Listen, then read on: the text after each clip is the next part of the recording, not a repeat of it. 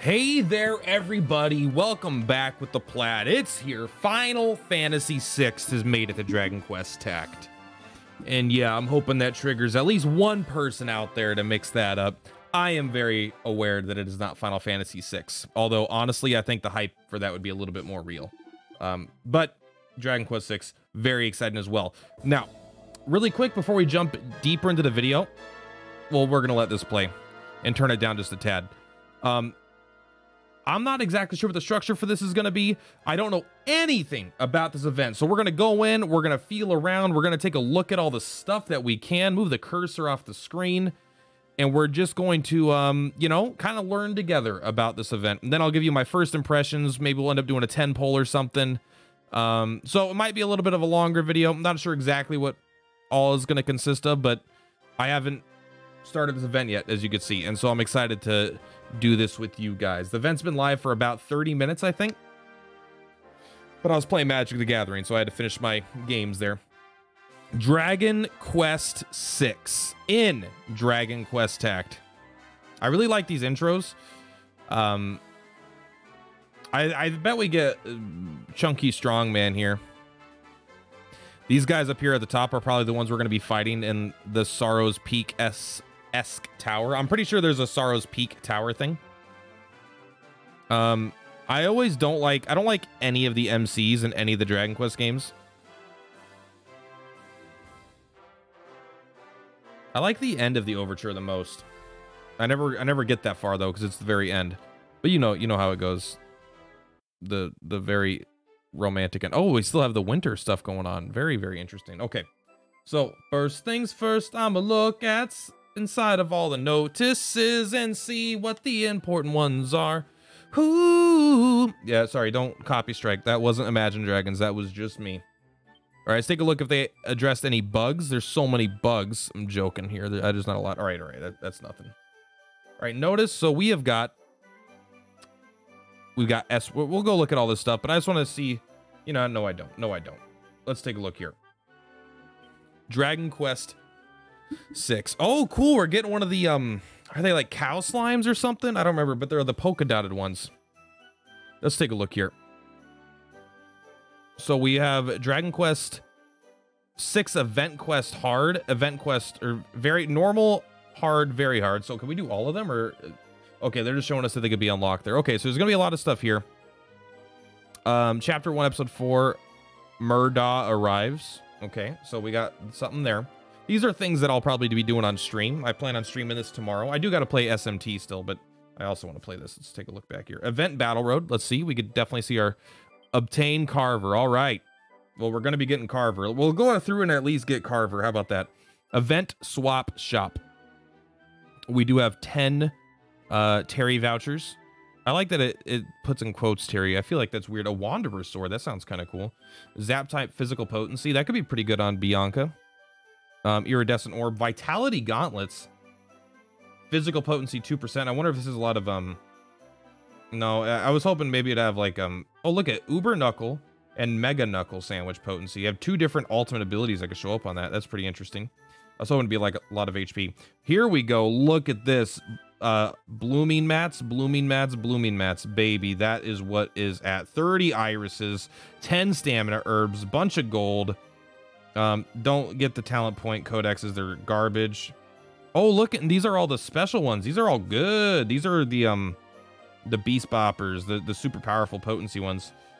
And there's even um, I I, I passed over it, but don't overlook it. There's a hero exchange crystals also, which is fucking huge.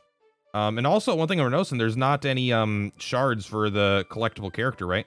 So um, that must mean he's entirely farmed through other means limited special any new um set items here? I don't think so. Doesn't look like it. One thing i am interested in that i always one of the first things i check out is i go to missions and event missions here.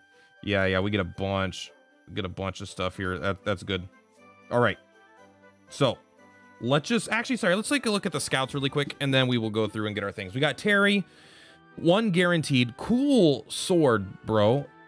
You might not be the coolest unit but i don't know. I mean that is a pretty cool sword um, so if we get a fixed S, it has Slineheart Queen Slime. It has like the expanded general pool.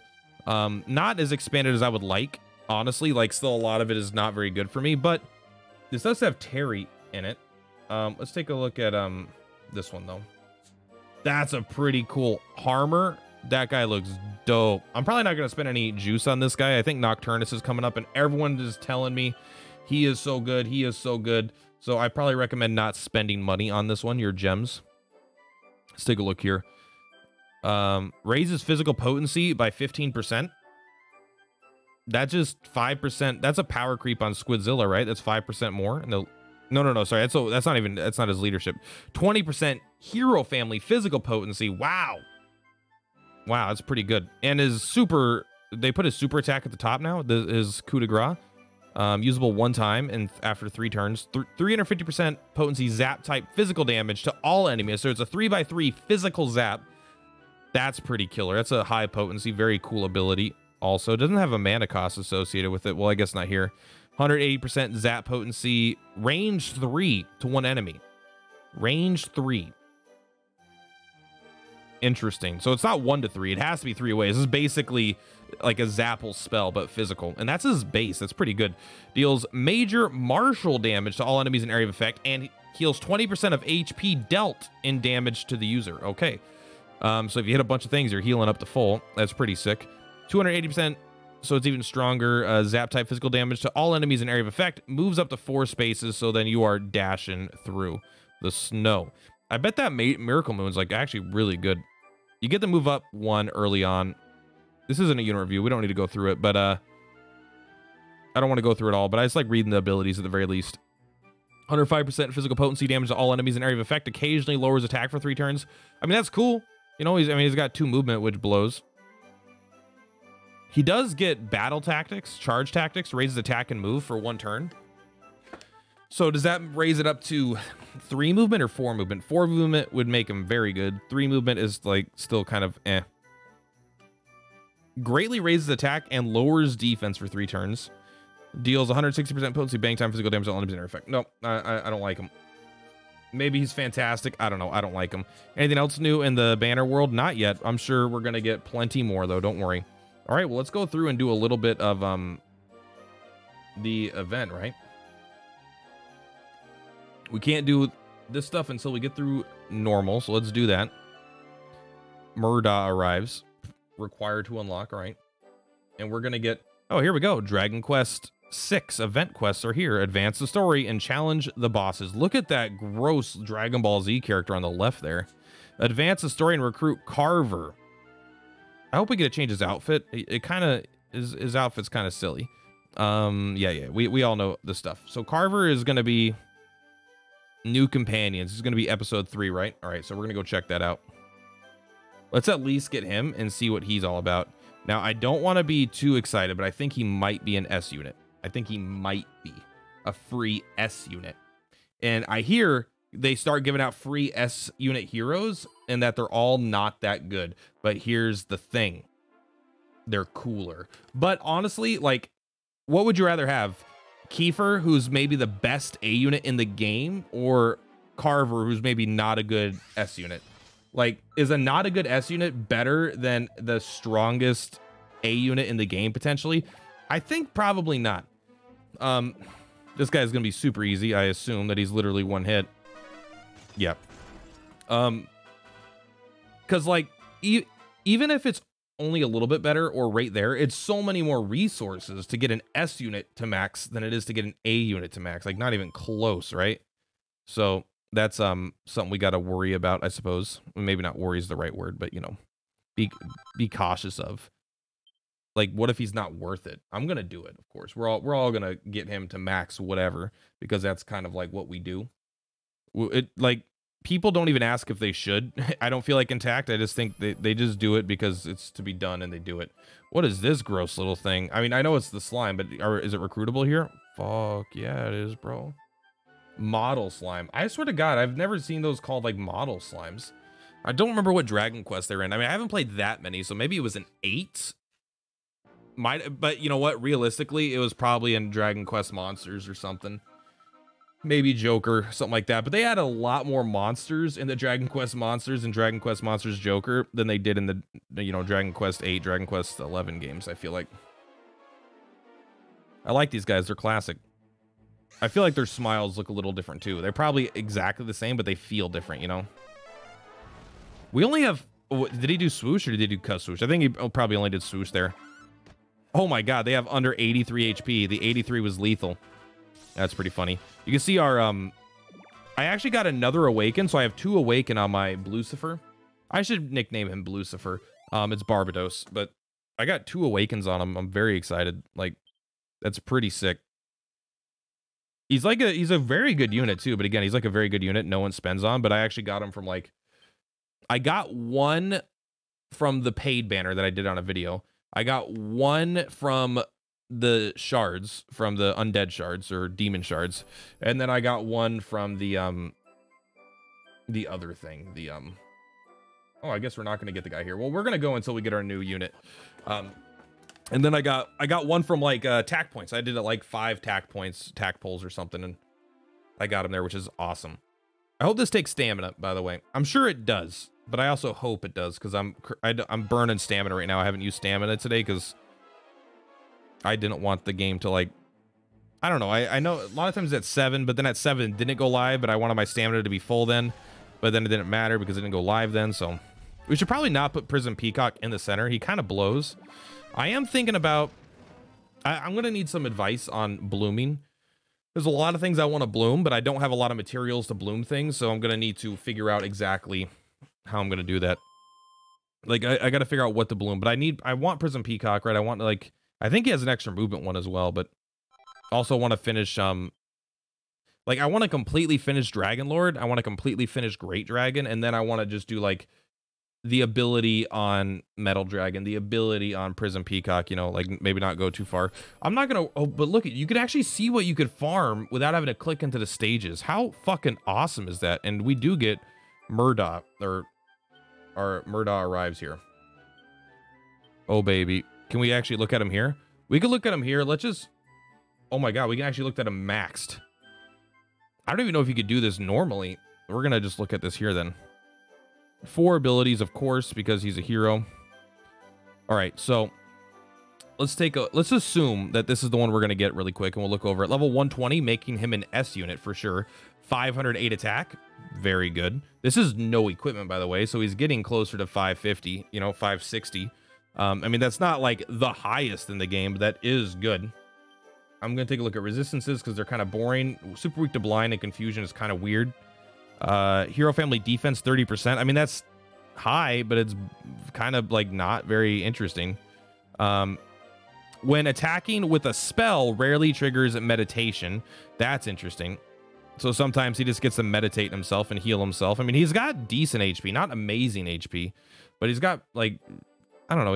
I'll, I'll admit it, it's not super impressive. And that whole spell thing when he has a, it says spell, but maybe this is gonna be um yeah, it's not gonna maybe does it say when attacking with a spell? Because why would it when attacking with a spell? All right, let's look at his abilities here. Because he has a really maybe it means ability, I'm not sure.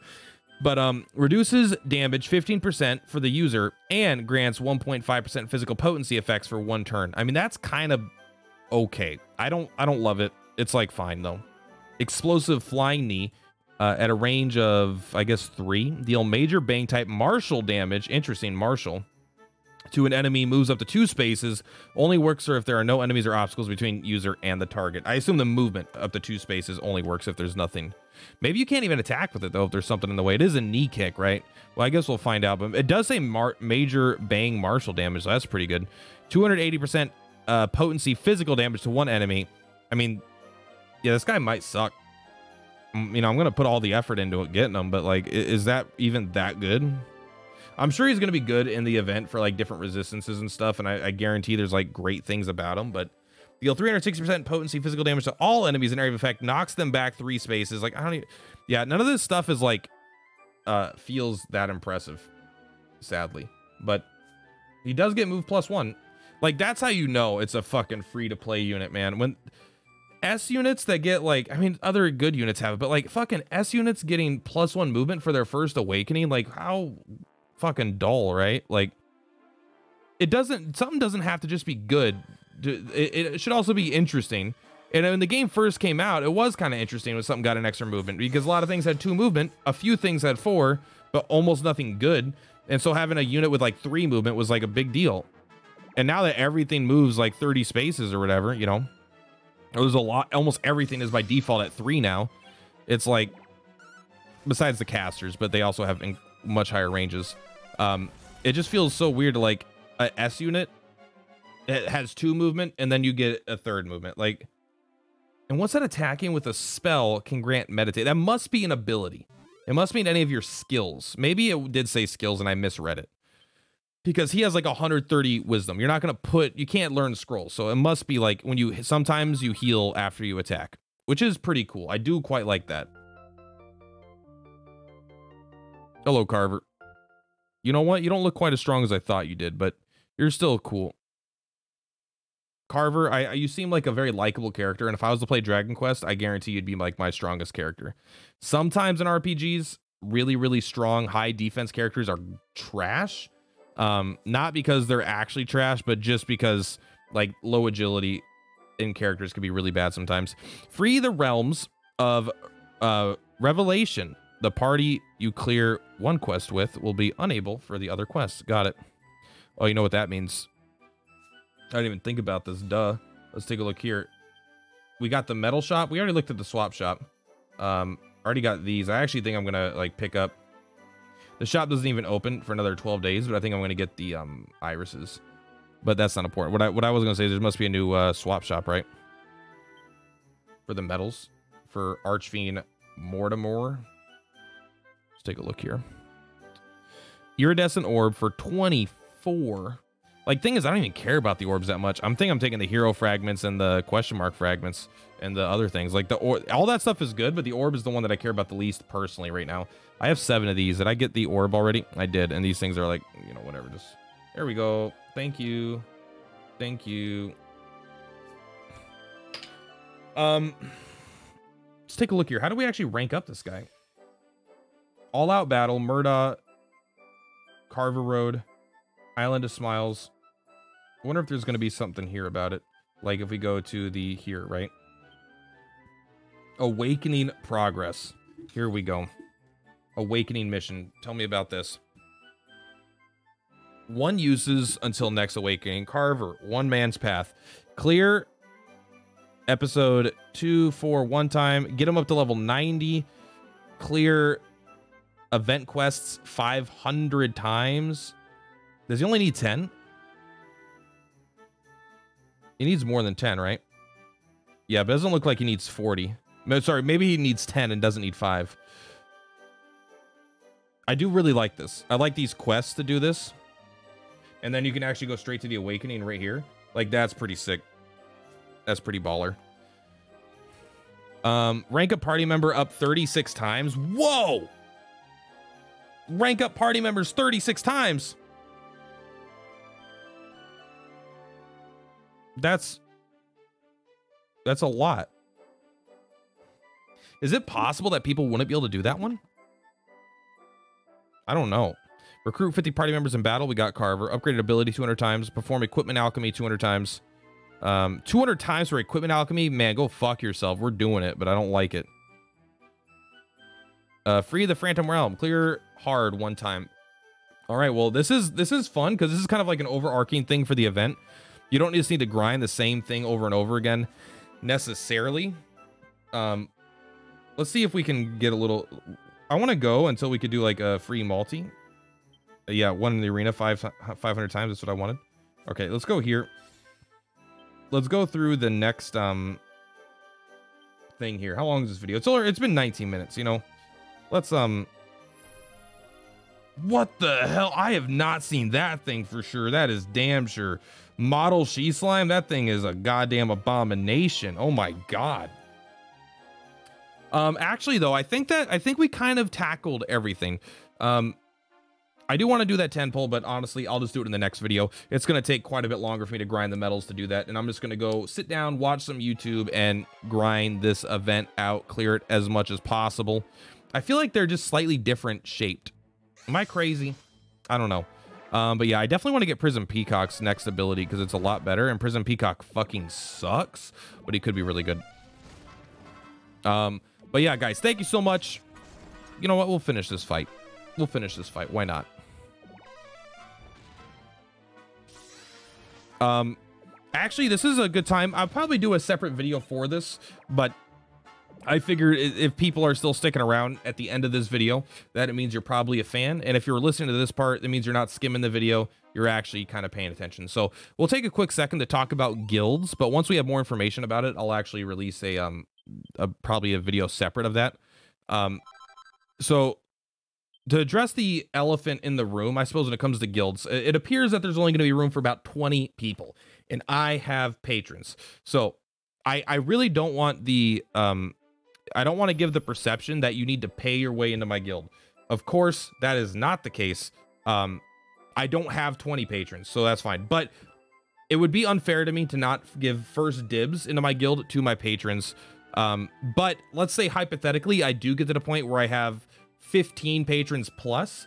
I think what I'm going to do if there's 20 slots in the alliance, I'm going to reserve 15 spots of them for, you know, the patron supporters that are actually financially doing it as like a benefit. And obviously the higher tiers will get benefit over that. Like, I don't like the whole mentality of buying your way in. Um, but I definitely want to have five slots dedicated to people that maybe don't, you know, financially can't afford to support directly in that way, but are just like fans and are active in the game and actually really want it and are very active in the community where it's just much more community, you know, leaderboard people as opposed to um like patron stuff. So that's kind of what I'm I'm thinking we'll do for that if that makes sense. But I'll I'll make another video on it when we actually have some details. Um you know what?